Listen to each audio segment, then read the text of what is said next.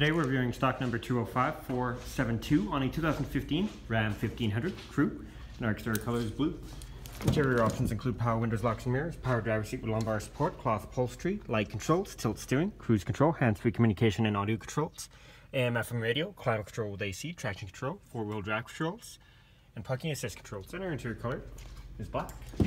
Moving on to exterior features, we have alloy wheels, mud flaps, rear parking assist, spray-on box liner and more cargo space. Rear options include power windows, 60-40 split bench seats with center armrest and cup holders, sliding rear window, and you can fold the seats up for more storage space.